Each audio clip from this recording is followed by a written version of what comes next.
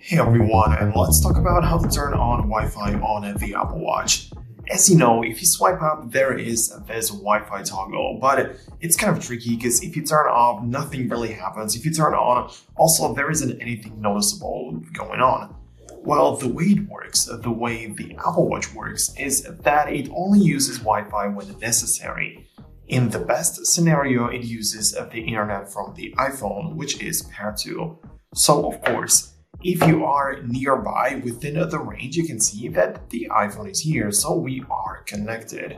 That means that it can use it freely and we don't need to rely on Wi-Fi or anything like that.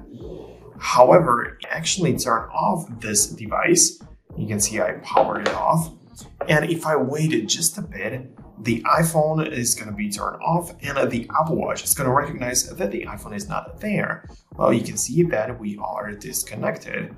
And now it has to rely on Wi-Fi. You can see it switched back to Wi-Fi. And this is basically how it works. It now only uses the internet through the Wi-Fi only. In order to customize it, you can hold down on the icon and you can see the Wi-Fi is turned on. You can see the, the network I'm connected to but you can choose a different one from those that are available, of course. So you go about this the regular way. You can type in uh, the password when you are required. You can tap a different one. You can tap the existing one. Like you can forget it. You can auto join. I mean, there are plenty of options and things to customize.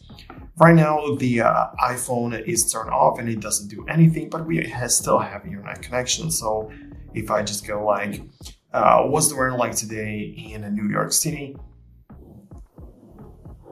The Apple Watch is going to give me the answer. It's currently partly cloudy Yeah. and 20 degrees Of course, I mean, uh, it just uses uh, the Wi-Fi as a connection. It doesn't need the iPhone. Of course, you have a separate section for it in uh, the settings right on uh, the watch. So if you go there and navigate here to Wi-Fi, so we have this section here, but it's pretty much the very same thing that we just accessed before.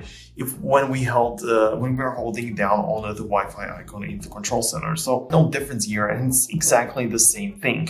If I turn off the Wi-Fi, however, uh, you can see that uh, if I come back to the home screen and to the control center, I mean, you can already see right away that we don't have anything. We don't have iPhone. We don't have any connection. So right now, whatever I do, it just doesn't do anything. Siri is not available. The SIM card, it doesn't have any, although it's a cellular version, it doesn't have any SIM card installed. So we don't have any internet connection. However, you can keep this Wi-Fi turned off once I come back and fire up my iPhone and after I wait just a little bit,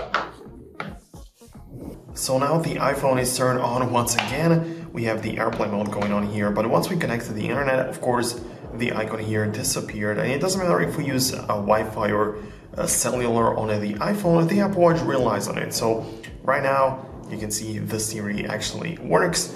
But if we come back and take a look at here, it doesn't have the Wi-Fi turned on. So this is how you can operate. Pretty much that this talk was only for the case when you don't have your iPhone nearby. So Hope this hope this video helped you out and if you did you can leave a thumbs up, subscribe to Foxtecc for more informational videos like this one. And if it really did help you can also leave a comment and I will probably reply to you. Thanks a lot for watching and see you guys later.